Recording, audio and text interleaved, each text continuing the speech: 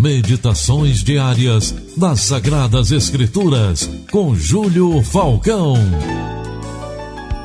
Tudo bem, meu querido? Mais uma vez, com muita satisfação, eu retorno para o nosso encontro de todos os dias. Hoje eu quero meditar com você na primeira carta de Paulo a Timóteo, capítulo 1, versículo 9 ao 10, que diz assim: Mas os que querem ser ricos caem em tentação e em laços e em muitas concupiscências loucas e nocivas que submergem os homens na perdição e ruína, porque o amor do dinheiro é a raiz de toda espécie de males, e nessa cobiça alguns se desviaram da fé e se transpassaram a si mesmos com muitas dores.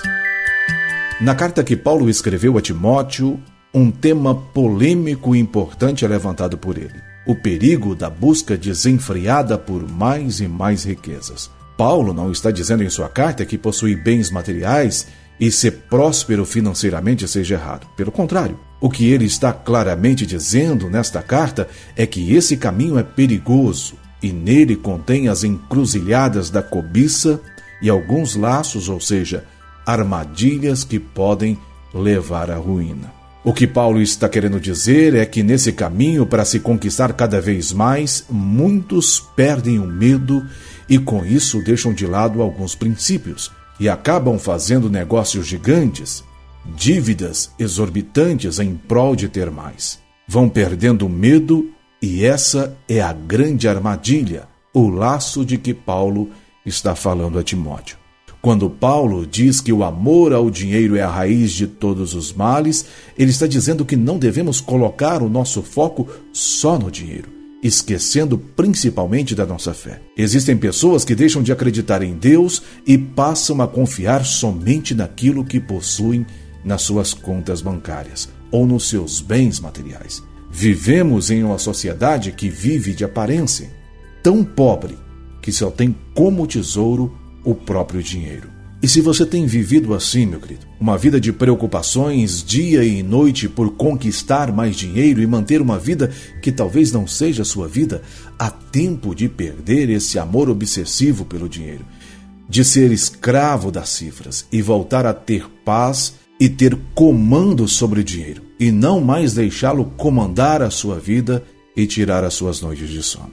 Não deixe as riquezas desviar a sua fé, te causar males e transpassar a si mesmo com muitas dores, ou seja, ter a alma ferida por angústia, ansiedade e até mesmo depressão por causa deste amor demasiado ao dinheiro. E para te ajudar, eu finalizo deixando um versículo que, se colocado em prática, te colocará como uma pessoa mais próspera dessa terra. Mateus 6, versículo 33. Mas buscai em primeiro lugar o reino de Deus e a sua justiça, e todas as coisas vos serão acrescentadas. Que Deus te abençoe a ter domínio sobre o dinheiro e não o dinheiro ter domínio sobre você. Oremos juntos. Pai soberano, Deus amado, fiel e bondoso, Tu és o dono do ouro e da prata, Pai.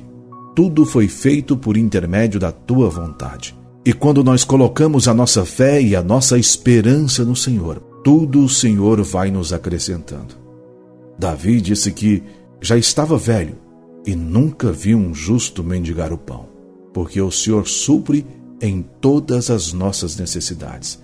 Por isso, Pai, nós declaramos o nosso amor no Senhor, na tua palavra, no teu evangelho, e que não seremos escravos do dinheiro, mas sim o dinheiro é que nos servirá.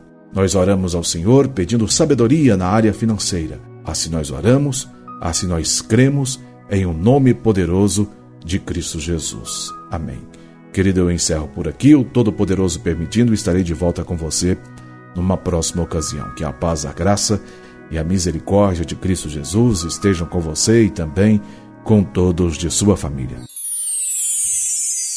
Você ouviu o devocional Palavra de Deus. Meditações diárias das Sagradas Escrituras com Júlio Falcão.